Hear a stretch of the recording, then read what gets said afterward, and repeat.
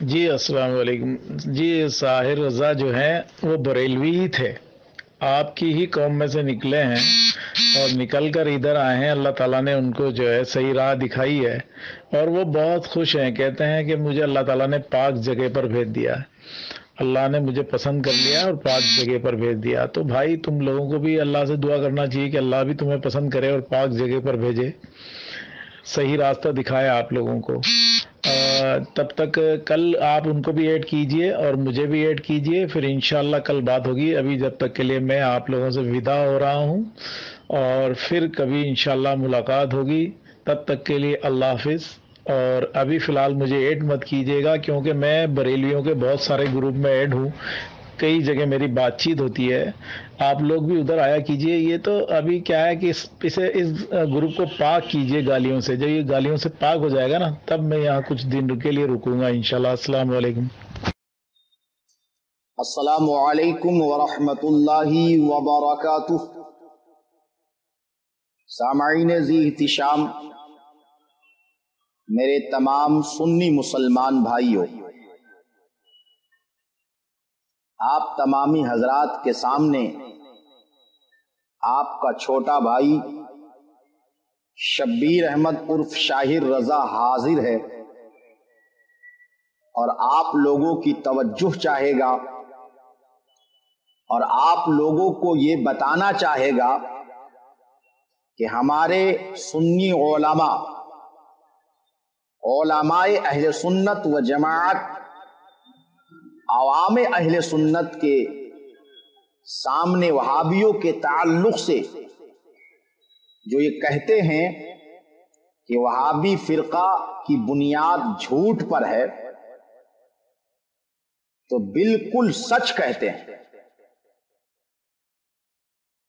واقعی میں وہابی نجدی، یزیدی، غیر مقلد نام نہاد اہل حدیثوں کے ملا قدم قدم پر لقمہ لقمہ پر جھوٹ بولتے۔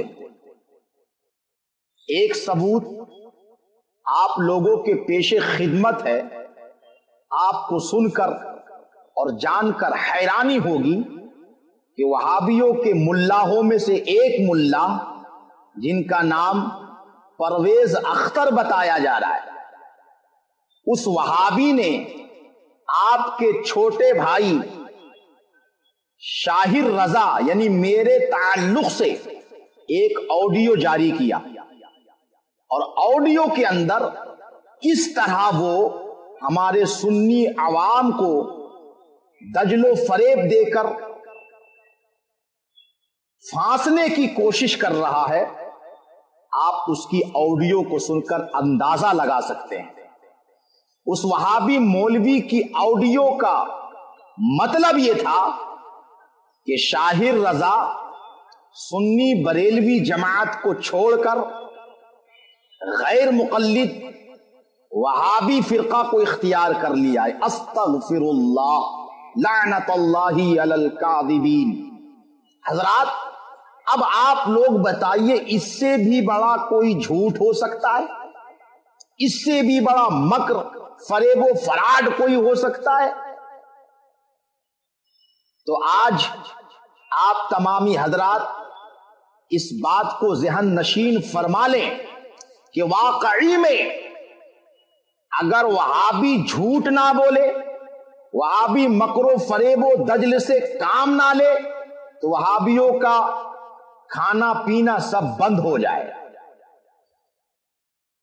بھلا بتائیے تو صحیح کہ ہم سنیوں کا تعلق تو اس جماعت سے ہے جس جماعت کو اہل سنت و جماعت کہا جاتا ہے، جس جماعت میں حضرت ویسے کرنی ہے حضرت غوث اعظم ہے حضرت غریب نواز ہے حضرت بختیار کاکی ہے حضرت بابا فرید الدین گنج شکر ہے، حضرت محبوب الہی ہے، حضرت آئین ہند سراج الدین عقی پاک ہے، حضرت علاء الحق پنڈوی ہے، حضرت مخدوم سمنانی ہے، حضرت صابر پاک ہے، حضرت وارث پاک ہے، حضرت امام اہل سنت، امام عشق و محبت، امام احمد رضا خان فاضل بریلوی ہیں اب بتائیے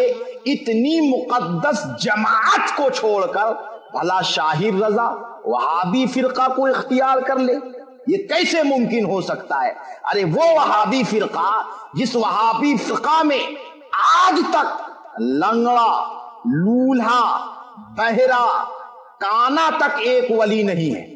اب بتائیے اللہ تعالیٰ قرآن پاک کے اندر ارشاد فرماتا ہے، یا ایوہ الذین آمنوا اتقوا اللہ وکونوا مع الصادقین۔